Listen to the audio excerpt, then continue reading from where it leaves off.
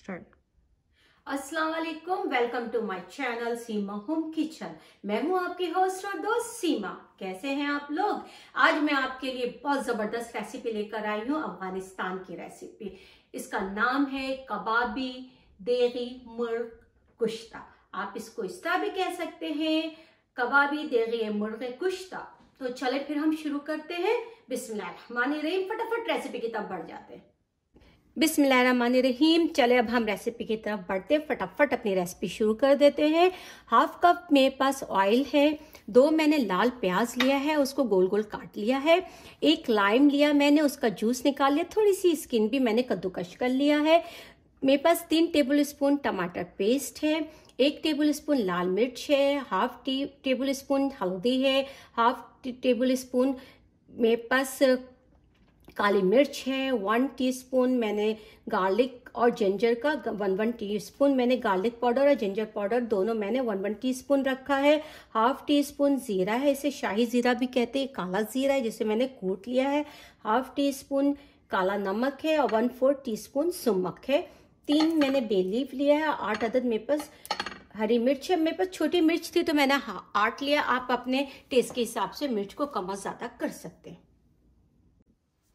कबाबी देगी मुर्ग बनाने के लिए जो मैंने मीट लिया है, वो दोनों हाफ़ हाफ़ के जी लिया। हाफ़ के जी चिकन ब्रेस्ट लिया और हाफ़ ही के जी मैंने बोनलेस थाई लिया है। अब मैं आपको ये दिखाऊँगी कि मैं इसे काटूँगी किस तरह। मैंने बाकी तो काट लिया है, लेकिन कुछ पीसेस आपको दिखाने के लिए मैंने रख लिया है।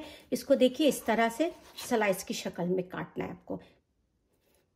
बहुत बारीक भी नहीं और बहुत मोटा भी नहीं। ये देखिए।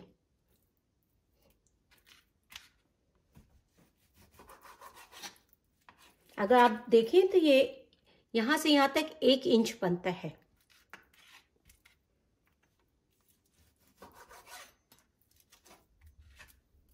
और इसी तरह थाई भी है। मैंने थाई को भी इसी तरह काटूँगी। तो जनाब ये एक किलो ऑल टुगेदर हुआ है, आधा किलो ब्रेस्ट है चिकन ब्रेस्ट और आधा किलो थाई है। काटना मैंने आपको सिखाया था कि इस तरह से मैं काटूँगी थाई और ब्रेस्ट दोनों को मैंने इस तरह से काटा है। अब मैं मैरिनेशन की तरफ़ आती हूँ और मैं आपको दिखाती हूँ। जी, सबसे पहले जो मैंने आधा कप आपको ऑयल दिखाया था, इसमें से हाफ़ ऑयल मैं यूज़ करूँगी और हाफ़ ऑयल जो है मैं रखूँगी। टमाटर पेस्ट जो मैंने आपको दिखाया था, वो मैंने यूज़ किया, डाला इसमें। मैंने आपको जो दिखाया था, वो सब मैंने इसमें एक एक करके डाला है। हाफ़ कप ऑयल में से मैंने आधा यूज़ किया आधा मैंने सेव किया है और टमाटर पेस्ट डाला, हल्दी डाला, बाकी सारे मसाले जो मैंने आपको दिखाए थे, वो सब मैंने एक एक करके डाला है। सिर्फ़ मैंने हरी मिर्च और बेलीफ वो मैंने छोड़ दिया है और लेमन जूस तो अब मैं आपके सामने लेमन जूस भी ऐड कर रही हूँ इसमें। अब ये सारी चीज़ें मैं इस चिकन में डालूँगी। मैंने एक एक करके सारा मसाला ऐड किया है, सिवाय हरी मिर्च बेलीव और ओनियन के अलावा। बाकी सारी चीज़ें मैंने आपको जो बताया था, जितना मसाला मैंने आपको दिखाया था, वो सब मैरिनेशन के लिए मैं यूज़ कर रही हूँ। मैंने ये सारे मसाले इसमें मिक्स कर दिया है। अब मैं इसे एक घंटा रेस्ट देने के लिए छोड़ूँगी। एक घंटे के बाद फिर मैं आपसे मिलती हूँ। जनाब, मैंने आपको बताया था मैंने half cup all together oil लिया था, जिसमें से हाफ़ मैंने मैरिनेशन के लिए रख यूज़ किया था और हाफ़ कप में से भी हाफ़ ऑयल जो है वो मैं अब यूज़ कर रही हूँ।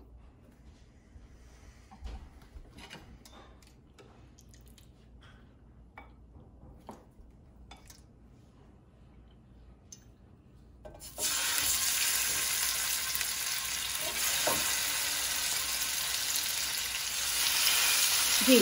तो ये सारे चिकन जो है मैं इसमें डाल रही हूँ। मैंने आपसे कहा था वन आवर मैरिनेशन रखा है मैंने, इसके बाद ये सारे चिकन जो है मैं इसमें ऐड कर हूँ। जी, मैंने सारे चिकन इसमें डाल दिया है। अब इस चिकन डालने के बाद मैं इसको इस तरह कवर कर दूँगी। थोड़ी देर एटलीस्ट पाँच मिनट में इस चिकन को एक तरफ़ से पकने दूँगी, फिर मैं इसकी साइड चेंज करूँगी। जी जनाब, ये मैंने आपको दिखाया था तीन डेली अब मैं इसको डेली को इस तरह इसके ऊपर डाल दूँगी। और फिर इसको थोड़ी देर के लिए पकना है।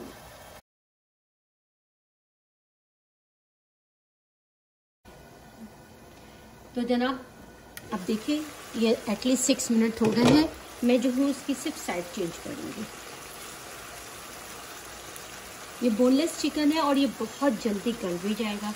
तो सिर्फ़ इसकी साइड को जो है, वो चेंज कर देना मुझे।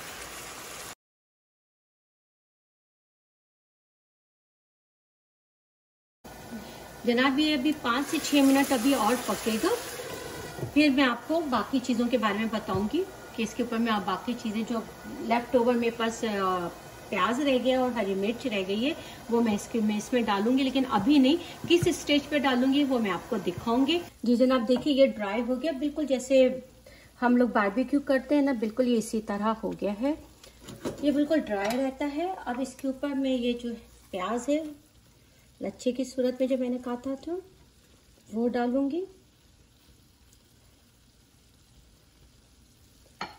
और ये हरी मिर्च है।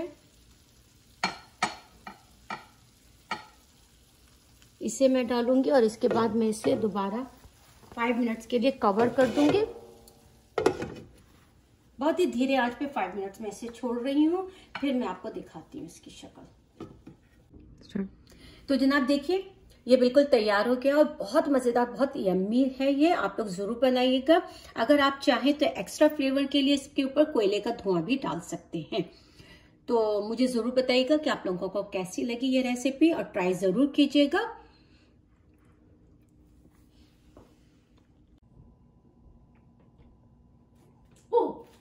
अच्छा ये शुरू हो गए। चलो जनाब। सॉरी मैं कॉफ़ी पीने में बहुत मसरूफ हो गई थी। असल में मैं थक गई थी ना थोड़ा सा इसलिए। तो जनाब, आपने मेरी वीडियो देखी?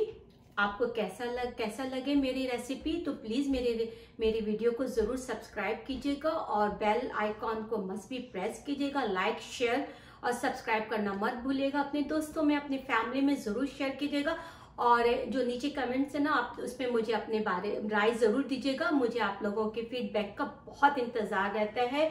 तो प्लीज़ आपको कुछ भी अच्छा लगे तो बताइएगा। कुछ और चाहिए तो वो भी आप मुझे फीडबैक दे सकते हैं। तो फिर हम मिलते हैं अपने नए रेसिपी के साथ एक नए अंदाज में। See you next time take care and Allah Hafiz